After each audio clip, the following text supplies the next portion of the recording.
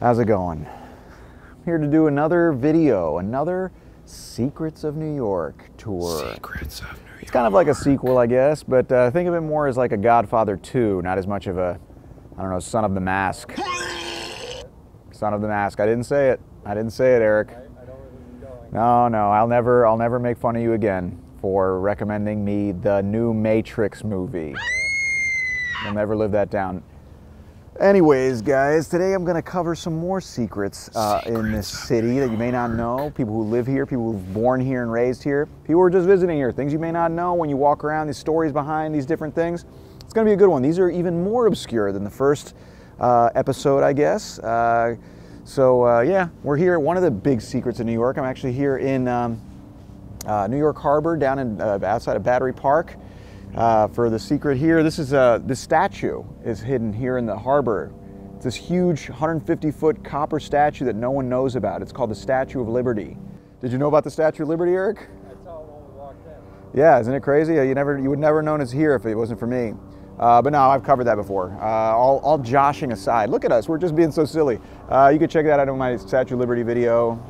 But uh, Eric, how you doing, man? Doing good. Yeah.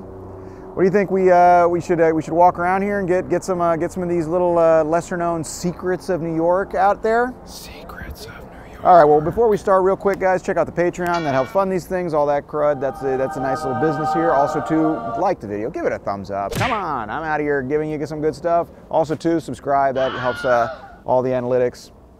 Uh, you know, helps bump bump this up uh, ahead of all the uh, hot podcast takes on uh, you know on you know foreign policy from people who barely graduated high school. Uh, is that does that mean Eric? No, accurate. Okay. Well, anyways, uh, what do you think, Eric? Should we get this started? Yeah, let's go. Let's do it.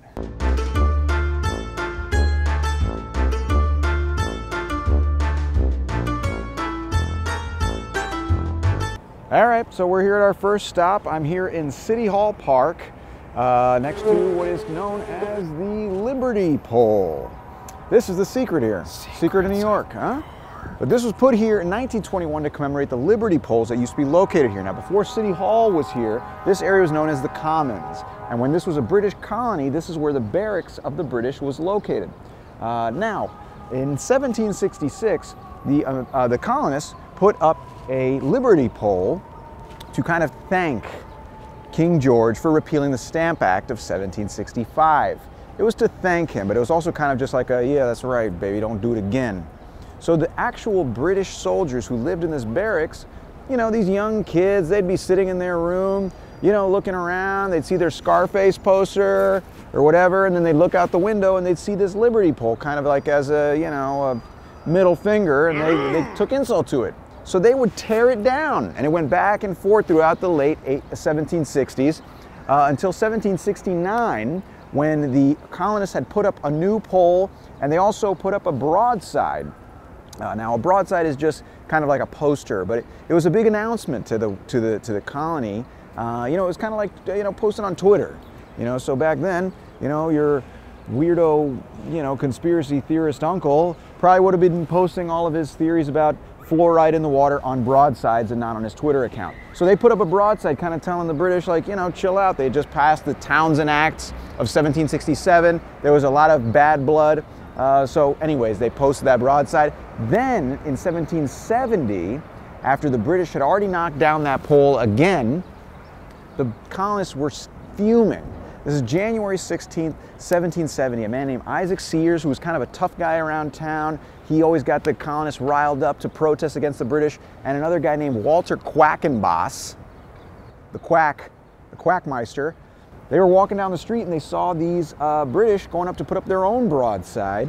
Uh, and they're like, yo, man, screw these guys. So they get into this skirmish, and uh, so much so that uh, Isaac Sears throws a ram's horn at one of them. A ram's horn, that's what you do.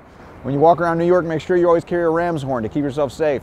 So the big skirmish, you know, ensues more troops, more, uh, more colonists, and it's known as the Battle of Golden Hill in January 1770.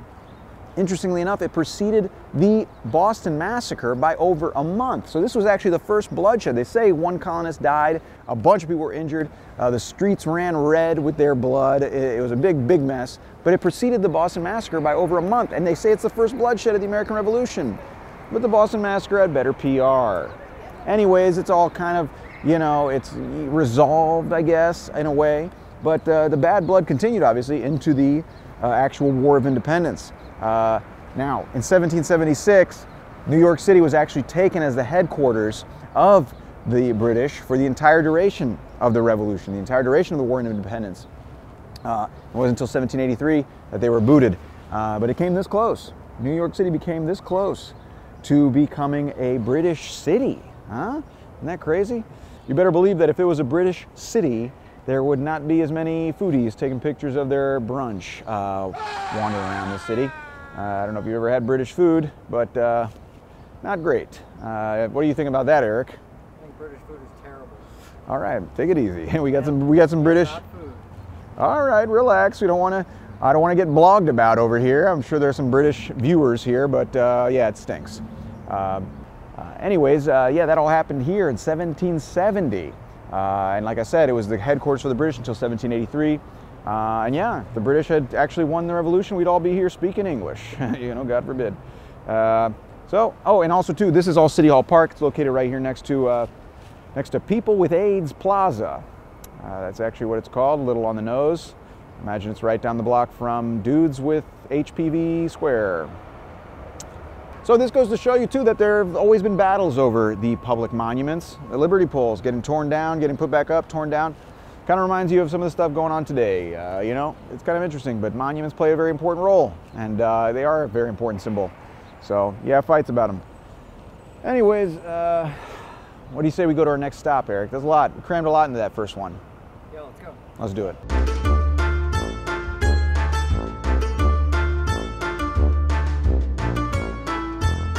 All right, so we're now in Central Park. Actually, talk about a very hidden secret. Uh, the grid plan of 1811, the Commissioner's Plan uh, by John Randel, is one of the most important things that happened in New York, and there are very few traces of it left. But here in Central Park, near about what 65th Street, on top of a stone, uh, is one of those remnants. This thing. This is one of the iron spikes that John Randel and his team used to delineate where intersections were going to be located on this grid. Now, the grid mapped out New York, Manhattan, which you know was New York at the time, in 1811, from Houston Street all the way to 155th Street. Crazy. And he put markers at every one of those over 1,500 intersections. It's a big deal. Very few are left, but this is one of them. He used the uh, metal because it's in a stone, it had to be strong. This is before this was even Central Park. Part of this process was him just going around the island in what was then like mosquito infested, you know, wilderness. You know, his, his team was getting drunk all the time. No one wanted to do it. Very thankless job. But it's because of that that today Manhattan is populated the way it is. That grid plan is one of the beautiful accidents of New York that's allowed for this island to have all the skyscrapers building upwards and allowed it to be populated. In 1811, there wasn't much settlement uh, north of Lower Manhattan, north of City Hall. Uh, so it was kind of just planning for it all. And people were very angry because it cut properties in half. They, they were given money, obviously, but they weren't allowed to you know, realize the full potential of all their properties uh, because of this grid plan. You know, roads cut right through properties, and that grid was very, very difficult to implement. And on that grid plan, there was no parks. There was barely any parks. In fact, Central Park was an afterthought. It had to be pushed for by people like William Cullen Bryant of Bryant Park, who I talked about in my Bryant Park video, you know. Yeah, yeah.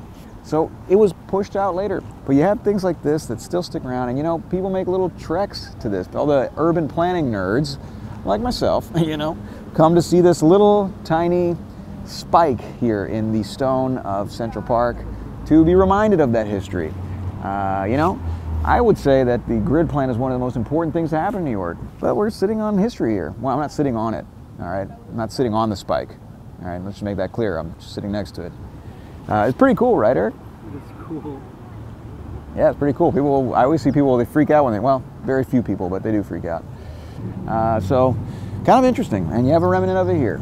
Yeah, pretty cool. Most elaborate practical joke you've ever played No, no, this is real, man. I ain't making this up. This is a real thing. They, they don't haven't put a plaque on it yet or anything, but uh, it wasn't like I was just like, oh crap, what am I going to put in the video now? I can't think of anything. Well, that, let's just say that metal spike is uh, part of the grid plan, huh? That's not what I did. I suppose not. Yeah, I could have done that if I was if I was dishonest, but I'm not. All right. Well, I'm my back's hurting. I'm too old to be sitting like this, so I got to get to the next spot.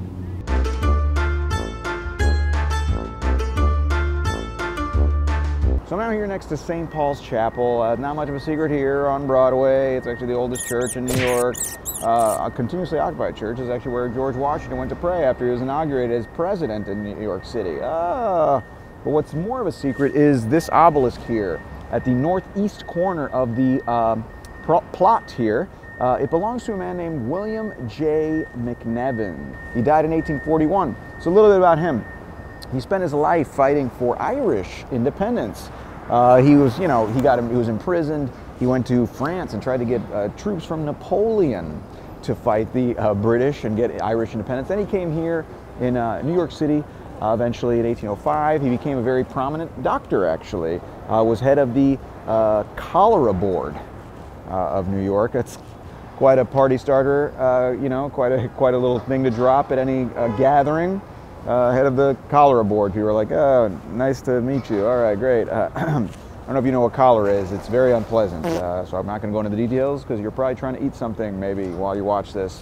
He died in 1841. This wasn't put here until 1865. 25 years later by some Johnny come lately. But what's more important is why they put it here. Now, there was a group called the Fenian Brotherhood. The Fenian Brotherhood uh, was this group that pushed for Irish independence. Uh, and it was started in the mid 1800s. Uh, and one of the things they did was they laundered money to get buy guns, pretty much. And one of the ways they laundered money was buying things like this, uh, huge obelisks. I don't know if you know this, but obelisks were used in the 1800s to, you know, mark points of, of energy and, and importance. Uh, men love their obelisks because they look like huge. So the Fenian Brotherhood uh, was actually uh, trying at the time to fund its raids into Canada. That's right. In the late 1860s, the Fenian Brotherhood tried a handful of unsuccessful raids into Canada with the intent of kidnapping Canada and then holding it for ransom from the British, who would then give Irish independence in return for Canada. Not a very well thought out plan, I don't think. Hey, I got it, guys. Let's kidnap Canada from the British. And someone's like, uh, but then what do we do? And he's like, we hold it for ransom and then get Irish independence? Jesus, do I have to think of everything? Well, it didn't quite work out that way. In fact, a lot of the uh, former Civil War veterans who took part in that uh, were eventually arrested because, go figure, it's actually a crime to launch a foreign war from American soil. But this little obelisk still continues here. Uh, was one of the ways that uh, they funneled money into these groups, uh, the, into this group, the Fenian Brotherhood. Uh, still there, William J. MacNeven, right here in the northeast corner of St. Paul's Chapel. Kind of interesting, huh? We're here in uh, New York right now. It's almost uh, St. Patrick's Day, which is kind of interesting, huh? You ever been here for St. Patrick's Day, Eric? Uh, maybe not. Well, it's pretty crazy. Uh, I'd probably stay out of the streets if you can. Uh, you know, people like to drink the old booze, so. Uh, Back in Chicago, we dyed the river green. Yeah, they dye stuff here green. A lot of beer, a lot of green beer here, uh, and then dying, green. dying frat boys green. Yeah, dying frat, frat boys piss in the streets green, uh, pretty much. But uh, yeah. Look Anyways. forward to it. Yeah, it's gonna be a good. We'll do a video for that. we'll go out. Anyways, that's uh, William J. MacNeven's. Kind of interesting. Obelisk, St. Paul's Chapel. Let's go to the next spot.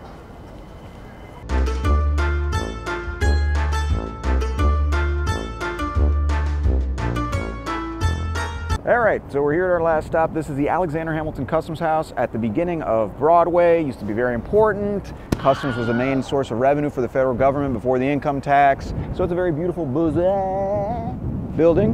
Uh, and part of Beaux-Arts was, uh, you know, sculpture. So here you have the Daniel Chester French sculptures. He was the guy who did the Lincoln Memorial. We've covered that in past videos. Check out the Financial District video. okay. But uh, up at the top, you have these uh, 12 statues made of Tennessee marble, each representing a different seafaring nation uh, around that time uh, throughout history. Uh, very important ones, ones that have played big roles. Uh, you have Greece, you have Rome, you have uh, Holland, Peter Stuyvesant, you have Genoa in Italy, you have good old Columbus up there. But you also notice one that's kind of out of place.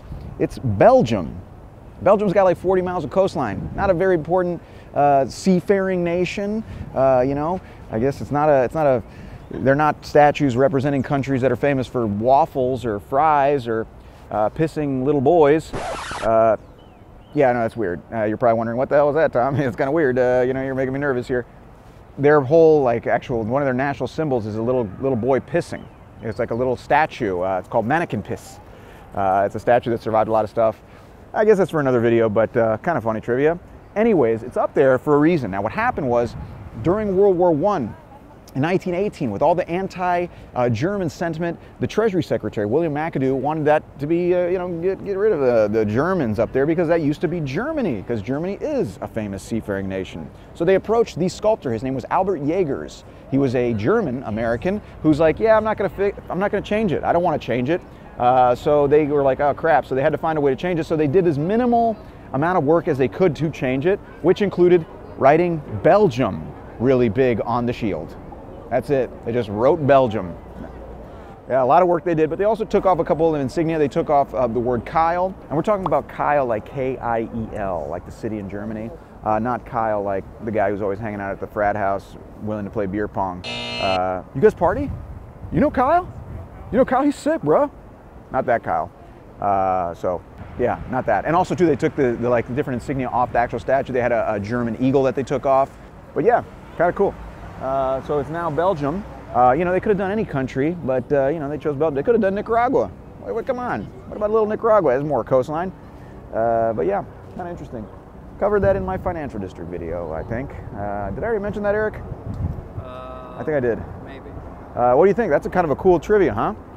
Yeah, so they just scratched Belgium into that? Yeah, they just they just chiseled Belgium into the shield. In a little bit. Yeah, it's kind of phoned in. Uh, you know, what can you do? I guess uh, save some money. Uh, what do you think of Manneken Pis? I will Wikipedia that later. No comment, huh?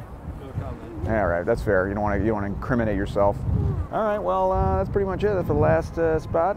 I guess we uh, keep on moving. End this thing, huh? All right. Let's do it.